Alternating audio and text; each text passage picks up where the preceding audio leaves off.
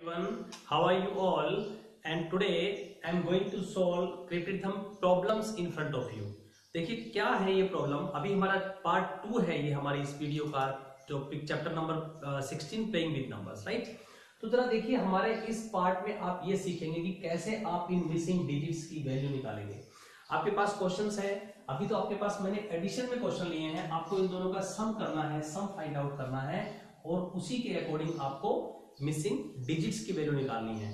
देखिए, जो आपके पास ये मिसिंग ए बी लिखा हुआ है, ये एक सिंगल डिजिट है आपके पास zero to nine mean A और बी दोनों की वैल्यू जो है आपकी ज़ीरो टू नाइन के रेंज में रहेगी। ज़ीरो टू नाइन तक हो सकती है। Zero one two three four five six seven eight nine okay यहाँ पे है कुछ एडिशन के क्वेश्चन इसके बाद हम लेंगे मल्टीप्लीकेशन के क्वेश्चन और कैसे आप इन क्वेश्चंस को ट्रायल एंड एरर मेथड से सोल्व करते हैं और कैसे आप इसमें एक कॉन्सेप्ट भी यूज़ करेंगे इक्वेशन भी बनाएँगे।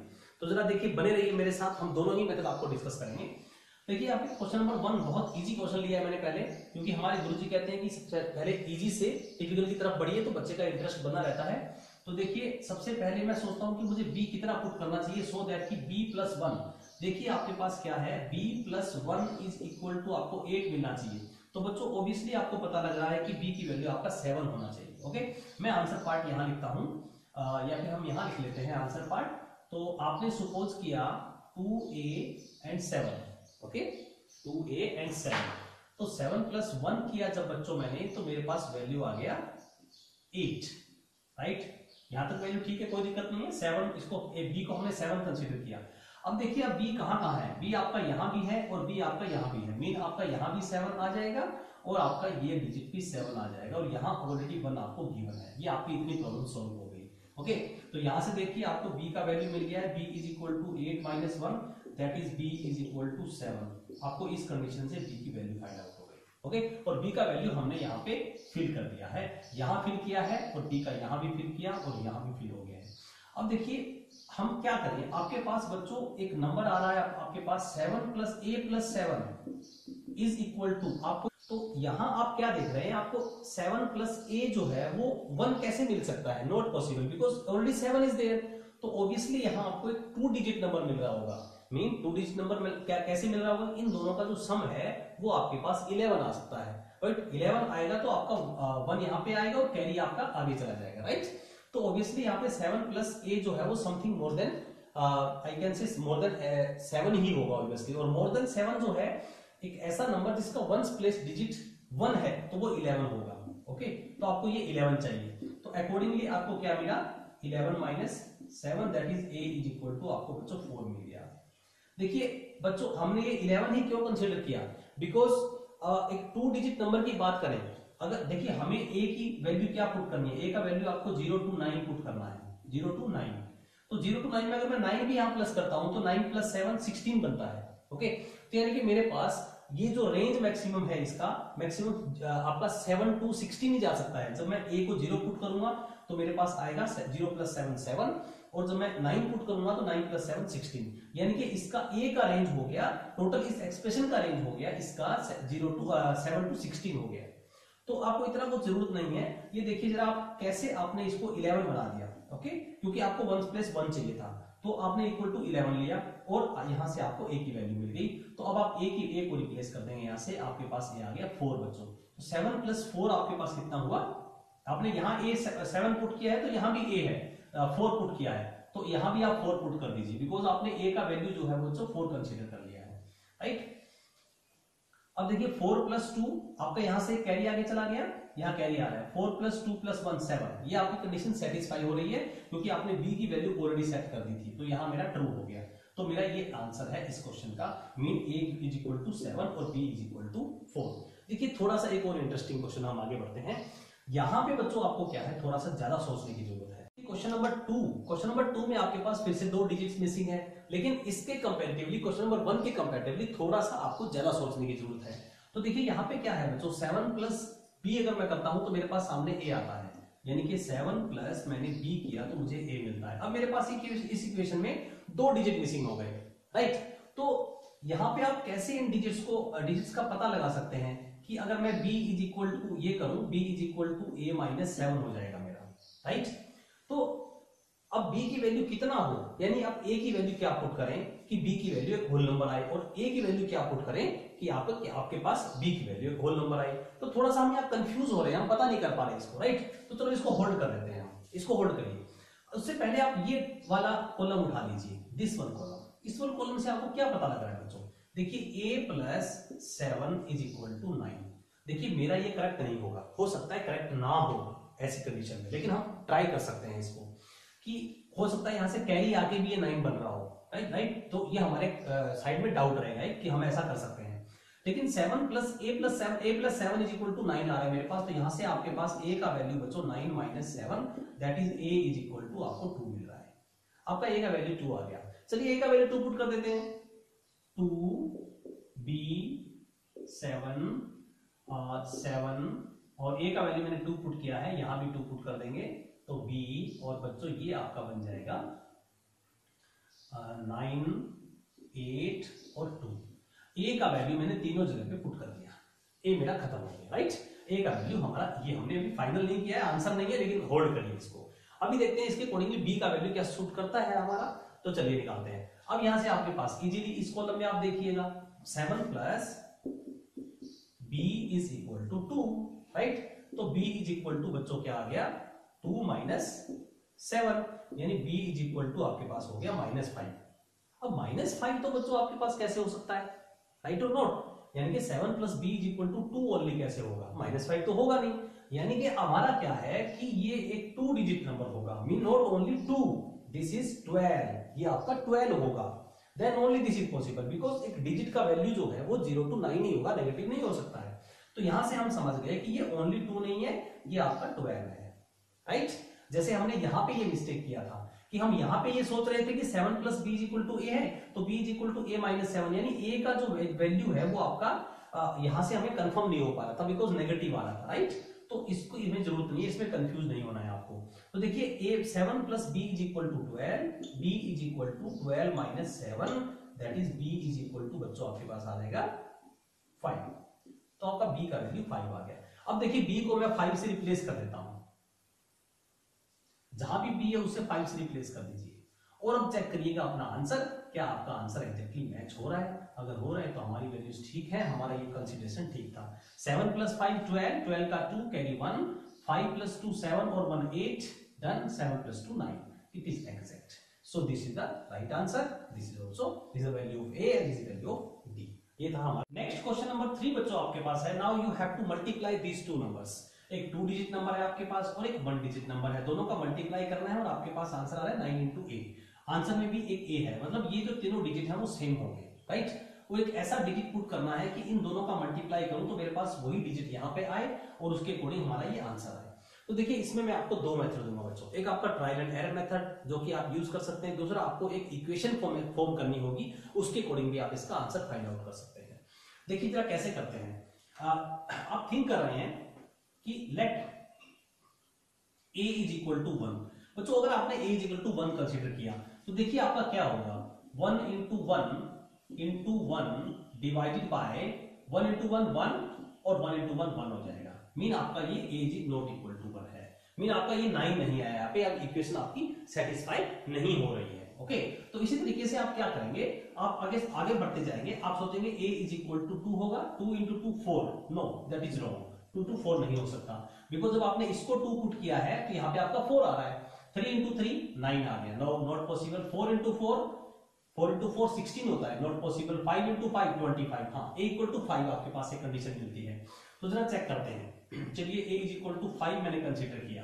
तो वन फाइव और फाइव इंटू देखिए मल्टीप्लाई करते हैं। क्या आंसर मेरा नाइन टू आया था five into five twenty five twenty five का five carry two right five one जा फाइव और वन सेवन टू सेवन तो देखिए सेवेंटी फाइव आ रहा है बट मेरा यहाँ पे नाइन आना चाहिए था।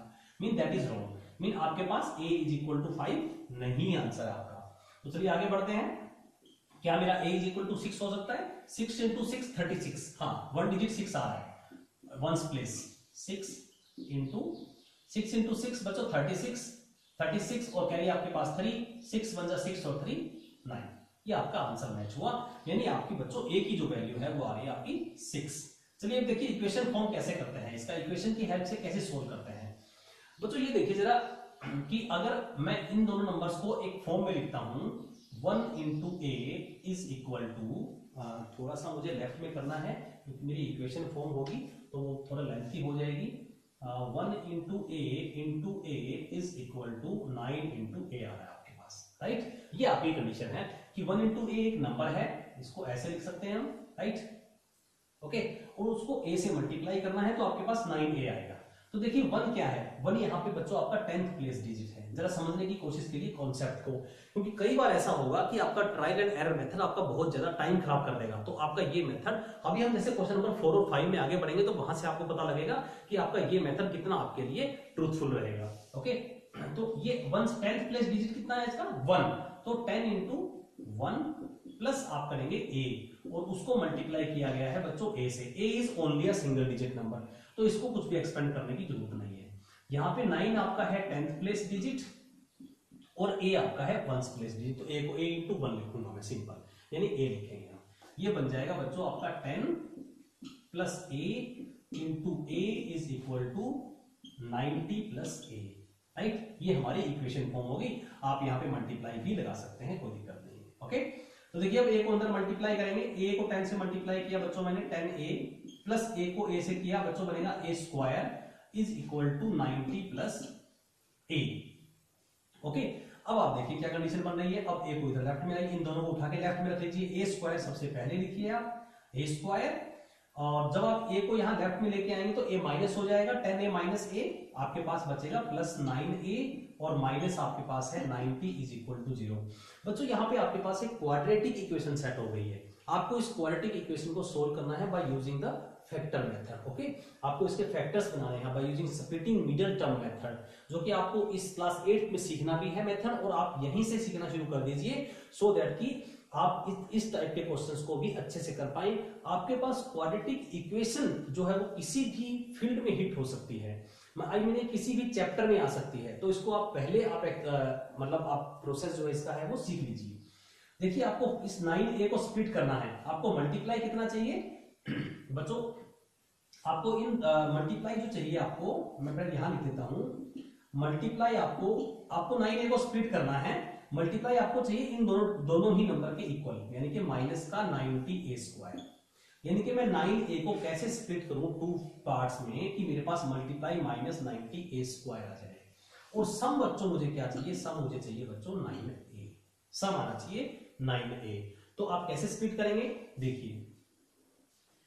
ए स्क्वायर पहले मैं इक्वेशन यहाँ कॉपी कर लेता हूँ। नाइन ए माइनस नाइन बच्चों, इसका स्प्लिटिंग मिडिल टर्म जब हम करेंगे तो देखिए कैसे करेंगे? हमारा fifteen A minus six A minus ninety is equal to zero बच्चों ये मैंने इसको स्प्लिट कर दिया है राइट देखो बच्चों अगर मैं आपको पूछता हूँ कि आप नाइन लिखिए तो आपने अगर ये लिख दिया fifteen minus six equal to nine तो होता है कोई दिक्कत नहीं है राइट आपने लिख दिया टेन माइनस वन नाइन तो होता है।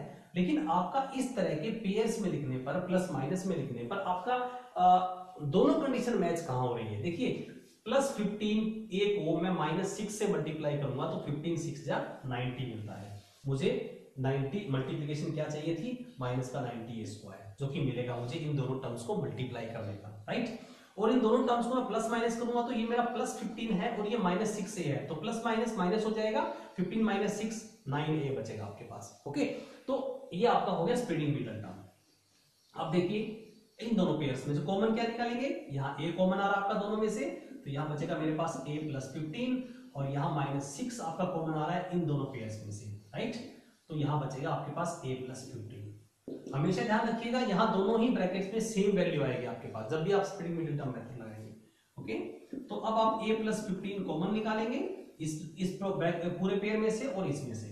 और माइनस आपके पास अंदर क्या रह जाएगा बच्चों? यहाँ ए और यहाँ minus six is equal to zero अब देखिएगा जरा सॉरी नहीं नहीं माइनस यहाँ नहीं this is wrong sorry A minus six is equal to zero okay जब आप ये कॉमन निकालेंगे, देखिए दोनों पेयर में से, इस पेयर में से और इस पेयर में से। आपने a प्लस फिफ्टीन कॉमन निकाल लिया यहाँ क्या बचेगा? A और माइनस सिक्स आपके पास राइट अब देखिए, आपके पास दो ब्रैकेट हैं, दो फैक्टर हैं, उन दोनों का प्रोडक्ट आपके पास ज़ीरो आ रहा है। तो आप क्या करेंगे? आपको नहीं पता कौन ज़ीरो है तो आप दोनों को ही अलग अलग ज़ीरो के इक्वल पुट कर देंगे। तो यहाँ से आपके पास ए का वैल्यू आएगा, बच्चों, ये आ गया माइनस फिफ्टीन जो कि पॉसिबल नहीं है okay not possible A minus six is equal to zero तो A is equal to six आ जाएगा। इसको आप लिख देंगे क्रॉस मत लगाएँ, आप लिख सकते हैं नॉट पॉसिबल ओके ये वैल्यू पॉसिबल नहीं है। बिकॉज़ क्यों पॉसिबल नहीं है? सबसे पहली बात तो ए का वैल्यू एक सिंगल डिजिट है नेगेटिव नहीं हो सकता। दूसरी बात, एक टू डिजिट का नंबर नहीं हो सकता। बिकॉज़ ऐसे क्वेश्चंस में आपके पास जो वैल्यू आएगा वेरिएबल मिसिंग का, जो अल्फ़ाबेट का वैल्यू आएगा आपका वेरिएबल का, वो ज़ीरो टू नाइन एक सिंगल डिजिट आएगा। तो मेरे पास ये आंसर रहा। ठीक है?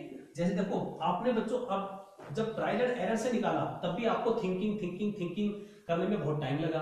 और अगर आप डायरेक्ट इक्वेशन सेट कर देते हैं तो आपके पास ऐसे भी आंसर आ जाएगा। जिसमें आपके पास डायरेक्ट एक ही आंसर आएगा। यहाँ पे आप क्या कर रहे हैं सब ट्रायल कर रहे हैं कि वन है टू है थ्री है फोर है लाइक दैट ओके तो आ, ये था बच्चों हमारा क्वेश्चन नंबर थ्री चलिए एक और क्वेश्चन लेते हैं। ऐसे ही मल्टीप्लीकेशन में आप कैसे इक्वेशन बनाएँगे और कैसे ट्रायल एंड एरर मेथड से करेंगे। ओके नेक्स्ट क्वेश्चन है बच्चों, आपका question number four right question number four A B एक नंबर है, उसको आपने मल्टीप्लाई करना है थ्री से, और आपके पास बच्चों आंसर आना चाहिए सी ए बी इस फॉर्म में आना चाहिए। सी ए बी ओके बहुत ही इंपॉर्टेंट क्वेश्चन है। जरा देखिए कैसे आप इस क्वेश्चन को सोल्व करेंगे। बच्चों, यहाँ पे हमारे पास पॉसिबिलिटीज ज़्यादा बढ़ जाती है। क्यों? देखिए जरा, एक ही स्टेप में आप समझ जाएँगे कैसे पॉसिबिलिटीज की बात कर रहा हूँ मैं।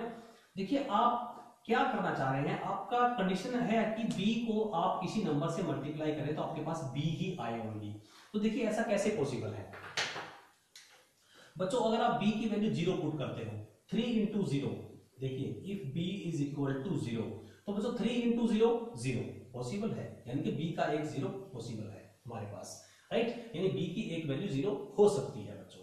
ओके? इसीलिए मैंने हमने लिख दिया b इक्वल टू ज़ीरो और दूसरा, देखिए थ्री इंटू वन अगर मैं b की जगह वन पुट करता हूँ तो थ्री इंटू वन थ्री आ जाएगा। दैट इज़ नॉट पॉसिबल क्योंकि यहाँ पे वन पुट किया b को यहाँ b थ्री आ गया। That is wrong okay? तो टू पुट करें थ्री टू जा six not possible three three जा। नॉट पॉसिबल थ्री फोर जा twelve not possible three five जा fifteen yes p is equal to आपके पास दूसरी कंडीशन आ गई है फाइव b के आपके पास दो ऑप्शन है बच्चों इस क्वेश्चन में। कि b की वैल्यूज़ आपकी दो हो सकती है। लेकिन कंपेरेटिवली आपकी बी की वैल्यू के साथ कौन सी वैल्यू इनमें से ए और सी की मैच खाती है, वही हमारा फाइनल आंसर होगा। चलिए आगे बढ़ते हैं। अब देखिए केस वन सोल्व करते हैं पहले। केस वन केस वन का मतलब ये है मेरा कि मैं पहले बी की वैल्यू ज़ीरो के ऊपर कंडीशन सोल्व करता हूँ। Okay B is equal to मैंने लिया ज़ीरो और यही हम हमारा आंसर लिख देंगे। ओके तो चलिए बने रहिए। Keep watching till end, you will understand it better.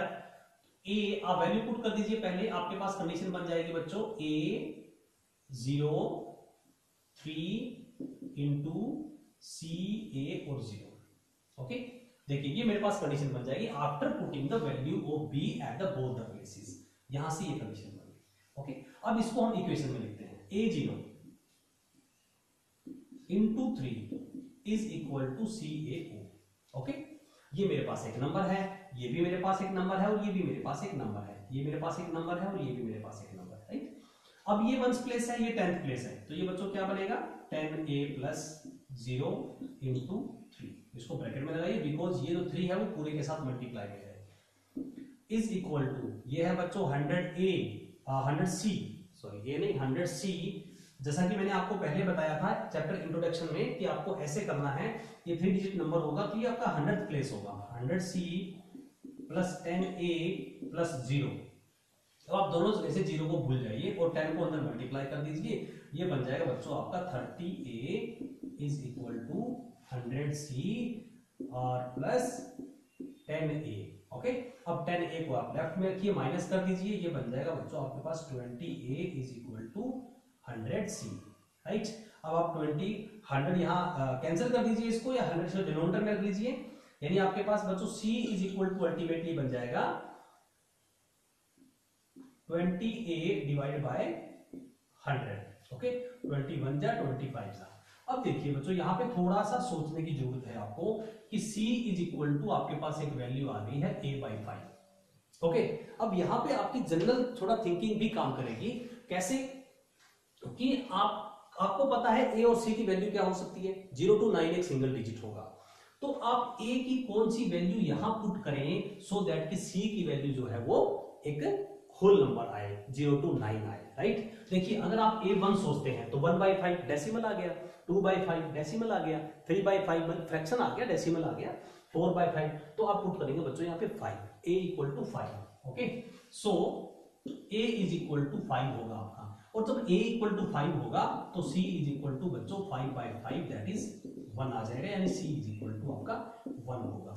ये हो गया आपके फाइनल आंसर यानी अगर मैं यहाँ आंसर लिखूं कि b इज़ इक्वल टू जब ज़ीरो है, ये मैंने केस सोल्व किया था, b इक्वल टू ज़ीरो तो बच्चों, आपका एक आंसर क्या हो गया? आप यहाँ यहाँ मैं आंसर लिख देता हूँ आपका final b a is equal to आपके पास है फाइव ओके और b इज़ इक्वल टू आपके पास है ज़ीरो और c इज़ इक्वल टू आपके पास बन रहा है वन ओके ये मेरा एक आंसर मैंने लॉक कर दिया। अब चलिए b का मेरे पास दूसरा केस है फाइव जब b is equal to five होगा तो क्या होगा? आप समझ गए? ऐसे ही हम दूसरी कंडीशन में एक्सप्रेशन सोल्व करेंगे इक्वेशन बनाते हुए। हम सोल्व करते हैं बच्चों केस टू केस टू में आप क्या कर रहे हैं? B का वैल्यू फाइव लेते हैं चलिए b का वैल्यू फाइव लेते हैं तो हमारा एक्सप्रेशन क्या बन जाएगा बच्चों? A five three cross c a और फाइव ये बन गया मेरा एक्सप्रेशन चलिए, अब आगे बढ़ते हैं. इक्वेशन क्या बनेगी? A five into three is equal to c a five okay this multiply by this is equal to this अब आप इसको एक्सपेंडेड जनरलाइज फॉर्म में लिखिएगा. A is equal to a क्या है? Tenth place ten a plus five into three is equal to hundred a sorry hundred c hundred c plus ten a plus five right इस बार आपके पास zero नहीं है, यहाँ पे फाइव है ओके तो अब देखिए इसको अंदर मल्टीप्लाई करिए थ्री को, ये बन जाएगा बच्चों आपका thirty a plus five three जा fifteen is equal to hundred c आपको वैसे ही एक इक्वेशन सेट कर देनी है ए और बी में ए और सी में। ओके? बी की वैल्यू तो आपके पास ऑलरेडी है। तो ए और सी में एक इक्वेशन आएगी, हमें उस इक्वेशन तक पहुँचना है पहले। जब आप ए को लेफ़्ट में लेंगे तो ट्वेंटी ए बनेगा राइट और जब आप फाइव को लेफ़्ट में लेंगे तो आपके पास ओनली टेन बचेगा फिफ्टीन माइनस फाइव हो जाएगा इज़ इक्वल टू आपके पास आएगा बच्चों हंड्रेड सी ओनली ओके? ये दोनों टर्म आपने लेफ़्ट में लेके आपने माइनस कर दी अब देखिए आगे क्या होगा। चलिए आगे क्वेश्चन क्या मिलेगा आपको? इसमें से कॉमन कुछ आ रहा है? यस कॉमन आ रहा है। ज़ीरो सब में कॉमन उड़ा दीजिए कैंसिल कर दीजिए आपने। ज़ीरो कैंसिल कर दिया है। Two a plus one is equal to ten c ये मिल रहा है आपको। देखिए, मैं इसको a is equal to expression में कन्वर्ट कर देता हूँ। आपके पास बच्चों बना a is equal to ten c minus one divided by two पहले मैं a को वन को राइट में लेके गया हूँ माइनस हुआ। फिर ये टू मल्टीप्लाई में था डिनोमिनेटर में चला गया तो मेरे पास ये एक्सप्रेशन बन गया, a is equal to this अच्छा अब यहाँ पे बच्चों, आपकी जनरल थिंकिंग आपको हेल्प करेगी कि क्या ऐसा पॉसिबल है for any whole value of a and c? देखिए इक्वेशन तो पॉसिबल है। डेसिमल वैल्यू के लिए तो पॉसिबल होगी नो प्रॉब्लम बट हम यहाँ बात कर रहे हैं हमारे डिजिट्स की कि हमारे जो डिजिट्स होंगे, वो ज़ीरो टू नाइन हो सकते हैं, जो कि मिसिंग है। ओके तो आपको ये देखना है कि क्या ए और सी कोई भी होल नंबर अगर हम यहाँ पुट करें तो क्या ये पॉसिबल होगा? चलिए चलिए देखते हैं। जब आप c is equal to one put करते हैं तो ten into one ten minus one nine nine by two, nine by two decimal number आ जाएगा। जब टू पुट कर, टेन इंटू टू, जब आप टू पुट करेंगे, देखिए पुट कर लेते हैं हम। Let c is equal to one तो ए इज़ इक्वल टू बच्चों क्या रहेगा? Ten into one, ten into one minus one divide by two यानी कि टेन माइनस वन हो जाएगा बच्चों, nine by two not possible right चलिए c is equal to two पे चेक करते हैं। टेन इंटू टू क्या होगा आपका? Twenty minus one divide by two that is nineteen by two not possible फिर से फ्रैक्शन में आ गया। अब बच्चों, आप अगर थ्री पुट करते हैं तो क्या होगा? Ten into three thirty minus one twenty nine by two बच्चों, आपके पास आप क्या देख रहे हैं कि आपको ऐसी कोई कंडीशन मिलेगी नहीं जहाँ दोनों की होल नंबर्स वैल्यू आ जाए मेरे पास। क्यों नहीं मिल रहा है? आप इस चीज़ को भी देखिएगा। बच्चों, एक बात ध्यान रखना, जब आप किसी भी नंबर को टू से मल्टीप्लाई कर देते हैं तो वो नंबर इवन बन जाता है। ओके किसी भी नंबर को आप टू से मल्टीप्लाई करिए। और अगर मैं ये करूँ कि मैंने किसी भी नंबर को टू से मल्टीप्लाई किया और उसमें वन प्लस कर दिया तो ये नंबर मेरा क्या बन गया? ये नंबर हमेशा ओड होगा for any value of any whole value of x x की वैल्यू आप कुछ भी पुट करें, क्योंकि टू इंटू एक्स आपको इवन बना रहा है तो वन उसमें ऐड होके आपको फिर से ओड बना रहा है। तो बच्चों, यहाँ पे यही कंडीशन आ रही है कि आप 10 से जब किसी नंबर को मल्टीप्लाई कर रहे हैं, जैसे हम 2 से मल्टीप्लाई करते हैं नंबर इवन बन जाता है, वैसे ही 10 से मल्टीप्लाई करने से भी नंबर इवन बन जाएगा। लेकिन उसमें से वन माइनस हो रहा है तो अल्टीमेटली ऊपर मेरा जो नंबर बन रहा है, वो ओड बनेगा। Odd number divide by two करेंगे तो कभी भी आपके पास एग्जैक्ट डिवीज़न नहीं होगा। ओके क्योंकि आपका डिविजिबिलिटी रूल भी आपको बता रहा है। इसीलिए हमने आपको डिविजिबिलिटी रूल सिखाए थे।